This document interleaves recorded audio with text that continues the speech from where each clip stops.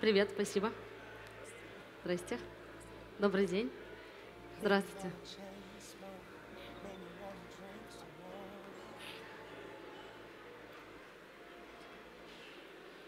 Все готовы, да? И я, по-моему, готова. А, музыку, пожалуйста. Время. Добрый день, уважаемые судьи. Меня зовут Настя Годунова, и сегодня в моей жизни особенное и очень эмоциональное событие. Впервые я участвую в чемпионате бариста.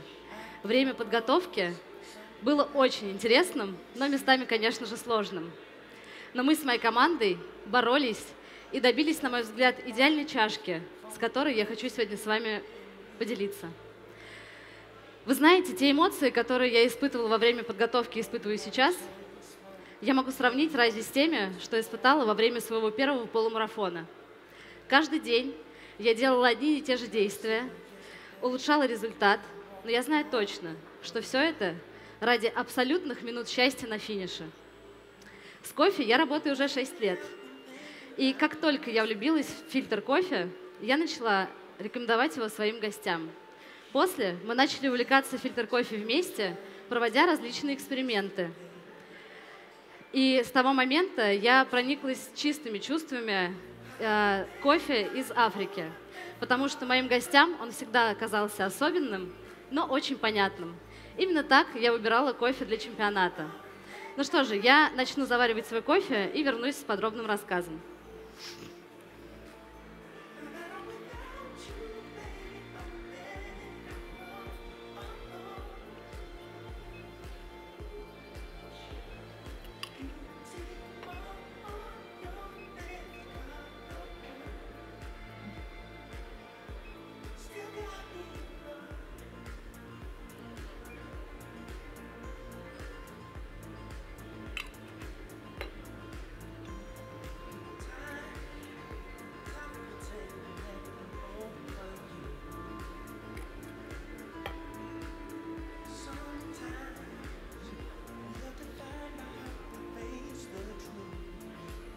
Сегодня ярким представителем кофе из Африки для вас будет кофе из Бурунди.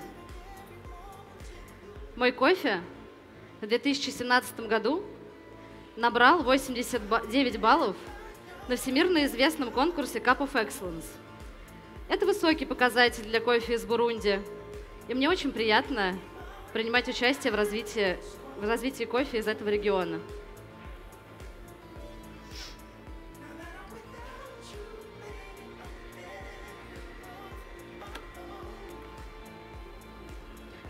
Сейчас отогреется немножко вода. А, мой кофе вырос в коммуне Гатара, регион Каянза. Каянза – один из регионов Бурунди с лучшей кофейной репутацией. Мой кофе вырос на высоте 1970 метров над уровнем моря. Разновидность – бурбон. Способ обработки – мытый. После того, как более 150 фермеров собирали ягоды, их отправляли на станцию мытой обработки Маша. Маша была основана в 1989 году. И несмотря на такую историю, только в последние годы на станции обработки производится более 750 тонн кофе.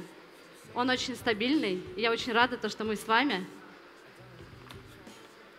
делимся с ним и изучаем его.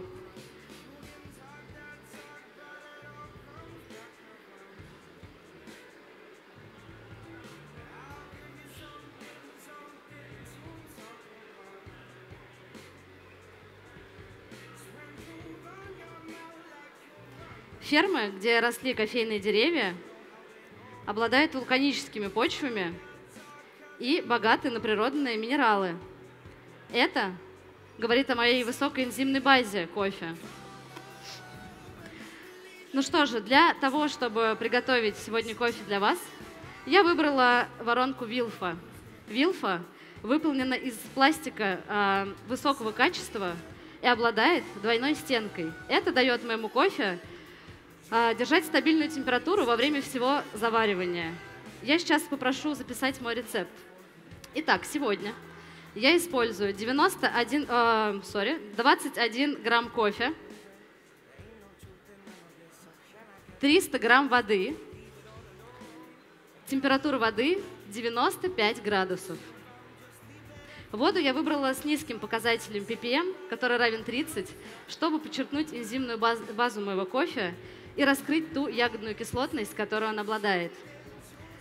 А, общее время заваривания составит 4 минуты. Время настаивания 2 минуты 30 секунд. Мой кофе был пожарен 5 дней назад на 5-килограммовом ростере Пробат. Общее время обжарки составило 8 минут 20 секунд. А развитие составило 19%. Мы с моими обжарщиками смогли развить труар раскрыть его, но не спрятать за карамелизацией. Перед тем, как полностью открыть воронку, я вначале ее закрываю, открываю, закрываю и открываю снова. Тем самым я э, разрушаю корочку, которая образуется сверху, чтобы моя экстракция проходила равномерно на протяжении всего времени заваривания, и тело оставалось округлым и сочным.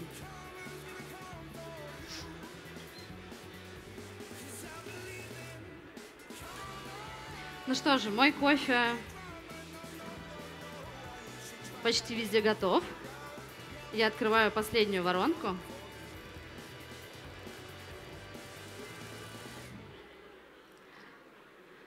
Я вас сейчас попрошу записать внимательно мои дескрипторы и после, по моей инструкции, приступить наконец-то к дегустации и оценке моего кофе. Итак, в аромате моего кофе вы почувствуете жасмин, абрикос, ваниль.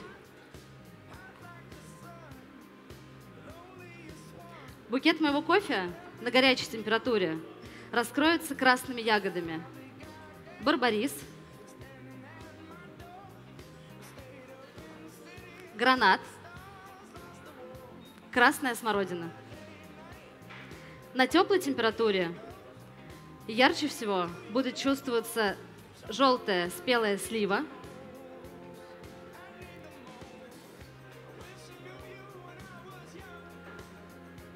А на остывании на холодной температуре ярче всего вы почувствуете зеленый чай с манго.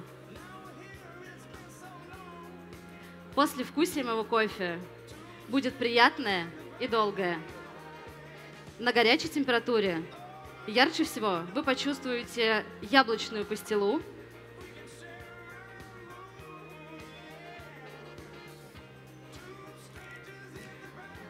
черной смородиной.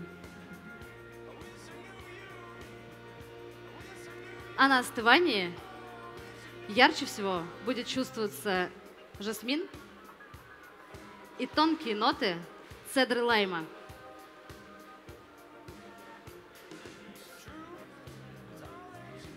кислотность моего тела, искрящаяся зеленого сочного яблока,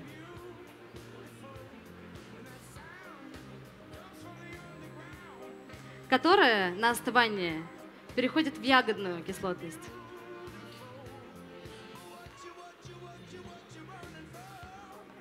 Тело моего кофе будет округлое и сочное. Баланс Баланс моего кофе – это то, ради чего я его выбрала. Потому что ягодная кислотность переходит в цитрусовую, дополняется сладостью красных ягод, и совсем на остывании появляется тонкая горчинка брусники. Сейчас я немножко продекантирую кофе и попрошу оценить аромат прямо из сервера. А как только я налью кофе в чашку, вы сможете его уже пробовать. Пожалуйста, для вас.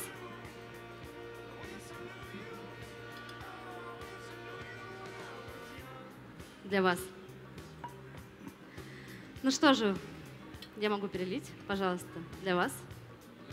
Время моего выступления очень быстро подошло к концу. Я буду помнить путь к этому кофе всю жизнь, потому что это мой первый чемпионат бариста.